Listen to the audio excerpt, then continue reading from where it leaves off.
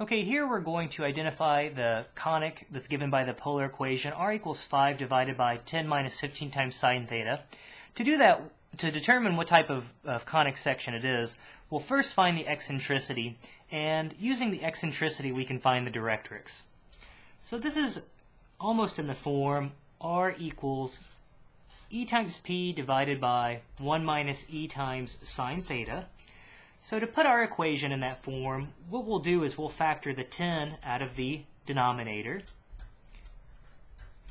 Well, 10 multiplied by negative 15 over 10 would give us negative 15.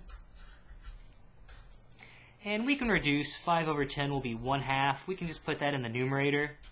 Then we have 1 minus, well 15 over 10 will be 3 halves times sine theta. So already we get that our eccentricity here our eccentricity is going to equal 3 halves. And since that's greater than 1, we know that we have a hyperbola. And we want the numerator to be in the form e times p. So e times p, we want that to equal the numerator, which is 1 half. Well, again, we know that e is equal to 3 halves. So to solve for p, we can simply multiply both sides by 2 thirds. So we'll have that P equals one third. And for this type of polar equation, we know that the directrix will be P units below and parallel to the x-axis.